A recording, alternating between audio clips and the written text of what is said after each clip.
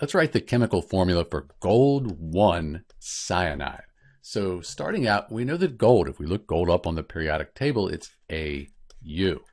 And this 1 here, that tells us that we have a positive charge on the gold here. Cyanide, you're not going to find cyanide on the periodic table. This is a polyatomic ion. So you either memorize that the cyanide ion is Cn, and the whole thing has a 1 minus ionic charge, or if you're allowed, you look this up on a table of polyatomic ions. Since we have the metal and this group of nonmetals, this is an ionic compound, and these charges, they need to balance out. So we have this 1 plus and this 1 minus. That balances out, gives us a net charge of 0. So this is the formula for gold 1 cyanide. If you were given AuCN and asked to write the name for this AuCN here, you need to recognize that the cyanide ion here has a 1 minus ionic charge. Gold's a transition metal, so it'd have to be 1 plus, and then we could put the Roman numeral up here in the name.